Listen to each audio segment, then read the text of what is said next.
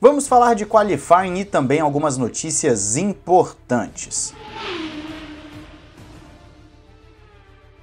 As melhores camisetas estão lá na Paddock BR, entre pelo link na descrição, cupom Ressaca F1 ou Ressaca Motor para desconto e frete grátis. E você tem também a Instant Gaming com os melhores jogos e gift cards, então não perca essa oportunidade, entre pelos links aí na descrição. Olá amigo do Ressaca Motor, seja bem-vindo a mais um vídeo, eu sou Matheus Pucci. A temporada do WEC acabou oficialmente lá no Bahrein, como de praxe, e terminou com a Toyota conquistando o título de construtores, uma temporada que foi bem legal. Tivemos disputas bem interessantes, Ferrari, Toyota, Porsche, principalmente, né? Você tem BMW, Alpine, também correndo ali por fora, Cadillac. Uma temporada que os hipercarros chamaram muita atenção. O EC é uma categoria que eu gosto muito, é uma pena que eu não consiga assistir todas as corridas.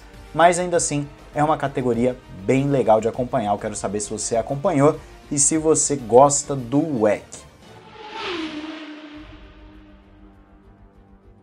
Falando de Fórmula 1, aquilo que nós trouxemos ontem da acusação da Red Bull sobre algumas equipes, incluindo a McLaren, porque há uma ênfase na McLaren devido à rivalidade, de estarem utilizando água para encher os pneus dos carros, o que daria uma vantagem no resfriamento, né, na degradação térmica.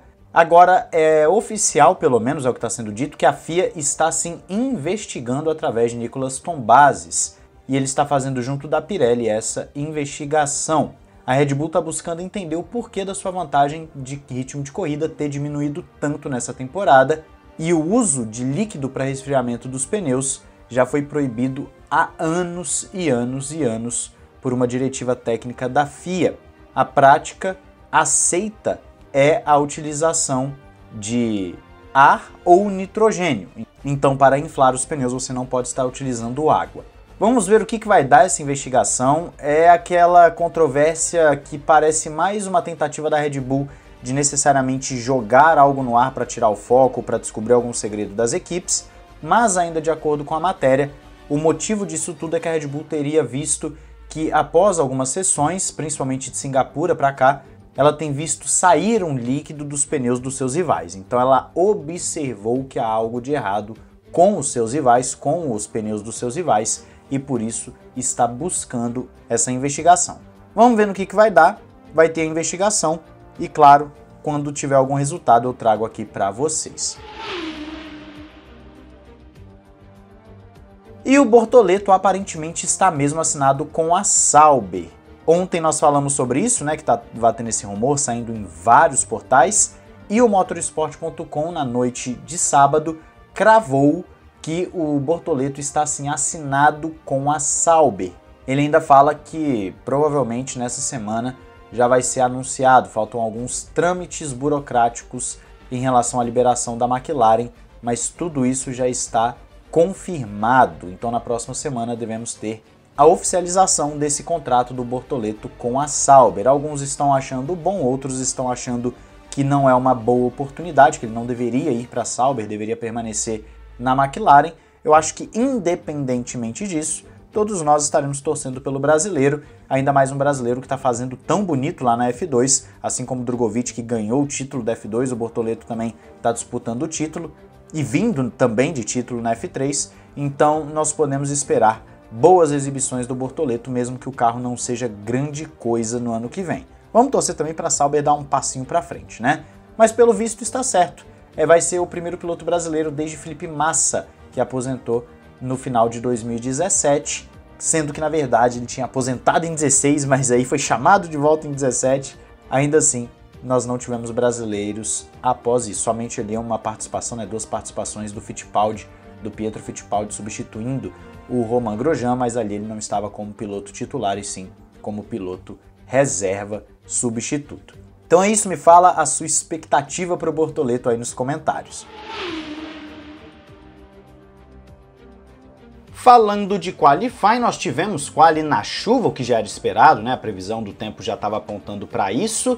Chuva que inicialmente os pilotos começaram a sair de pneus de chuva extrema, depois foram buscando intermediário, só que logo quando o Bottas colocou intermediário, o Russell estava falando, vamos colocar intermediário tal, o Colapinto bateu e aí deu a bandeira vermelha. E naquele momento existia uma previsão até da chuva piorar, então o pessoal que estava ali na zona de corte ficou preocupado, que seriam Albon, Joe Russell, Bottas e Hamilton. Porque se a chuva piora, dificilmente você melhora o tempo de volta, então uma situação complicada com a bandeira vermelha do Colapinto. E nessa brincadeira dos grandões, quem ficou de fora foi o Lewis Hamilton, mais uma vez ficando no Q1, o que obviamente é tenebroso de ruim por heptacampeão que está tomando um vareio do Russell ao longo da temporada no qualifying. Já no Q2, pista melhorando, o pessoal saindo de intermediários, você tem né, disputa aí, um vai passando o outro, porque a pista vai melhorando e tudo mais. E mais uma bandeira vermelha, dessa vez com o Carlos Sainz. Carlos Sainz colocando a bandeira vermelha, bateu na saída do S, o que também mostra que a pista tá traiçoeiro, que é, vamos dizer assim, legal para corrida, né? Saber que tem essa imprevisibilidade, mas a gente acaba tendo um outro player grande se colocando numa situação difícil. Só que além do Sainz sair, a gente já perdeu um player grande no Q2, as duas Red Bulls também ficam de fora porque no finalzinho do quali o Stroll bateu e gerou outra bandeira vermelha no Q2. E aí, tanto Verstappen quanto Pérez que vinham fazendo volta, não necessariamente uma volta rápida, ficaram de fora, com Verstappen ficando em 12 com a punição que vai tomar das 5, né? Vai largar em 17 Max Verstappen sai de 17 numa pista que provavelmente vai estar molhada na corrida e o Norris brigando lá mais na frente. Ou seja, o cenário ficou completamente favorável ao Norris, por mais que a gente saiba que o Verstappen corre muito bem na chuva, inclusive já deu show em Interlagos mesmo, lá em 2016, e é um piloto que atualmente está no seu auge, é o melhor piloto do grid, sem sombra de dúvida. Então, o quali foi deixando as coisas muito interessantes para essa corrida que nós teremos logo mais.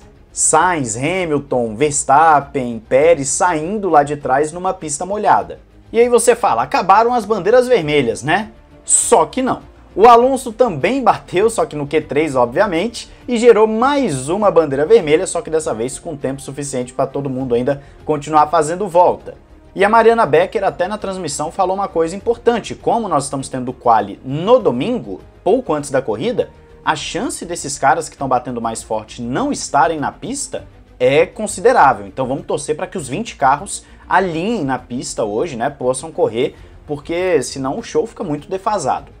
E isso vale pro Alexander Albon que destruiu a sua Williams, corre um sério risco de não participar da corrida. E foi uma pancada talvez a mais forte do final de semana, foi uma bela de uma pancada que o Albon deu. A gente torce para que a Williams consiga arrumar o carro, mas vai ser muito difícil em tão pouco tempo. Eles vão ter que fazer milagre, porque os dois carros estão avariados, os dois carros foram batidos. E em meio a esse caos todo, Lando Norris fez a pole position numa oportunidade absurda que ele tem para tirar muitos pontos do Verstappen nesse final de semana, coisa que ele não fez o ano inteiro, né? Ele perdeu várias oportunidades, como já citamos aqui no canal algumas vezes. George Russell vai sair em segundo, acabou tendo um bom resultado para Mercedes. Tsunoda Kun e Lawson vindo logo em seguida para você ver o tanto que a pista estava melhorando no finalzinho do quali. O Leclerc não conseguiu encaixar uma boa volta, sai em sexto. Albon, mesmo com a batida, sai em sétimo. Piastri errou a última volta dele feio, sai em oitavo. Alonso e Stroll nem conseguiram fazer uma nova tentativa porque estavam também batidos e saem nono e décimo. Um grid completamente maluco nesse qualifying que foi um caos em Interlagos. E eu quero saber a sua expectativa para esse grande prêmio aí nos comentários. Não esqueça de se inscrever, ativar o sininho para não perder nada. E claro, entrar no nosso canal de cortes também, seguir no Instagram, enfim, em outras redes. Um grande abraço, valeu e falou!